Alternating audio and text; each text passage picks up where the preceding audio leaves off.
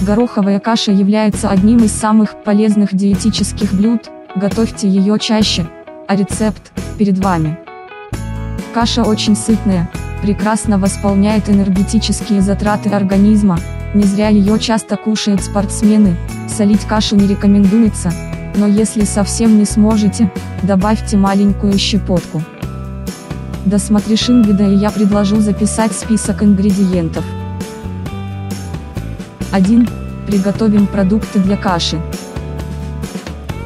2. Горох переберите и замочите на 2 часа, для лучшего разваривания. 3. Слейте воду с гороха, переложите его в кастрюлю мультиварки или обычную нержавейку, залейте свежей водой и варите не менее часа, в мультиварке подойдет режим суп или каша. 4. Гороховая каша для похудения готова, приятного! Подписка на канал, гарантия свежих вкусных рецептов. Подписывайтесь и ставьте лайки. Такие продукты будут нужны.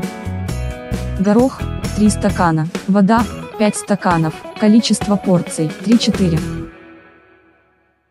Комментируем, лайкаем или дизлайкаем, подписываемся, чтобы не пропустить новые вкуснышки моего канала. До встречи!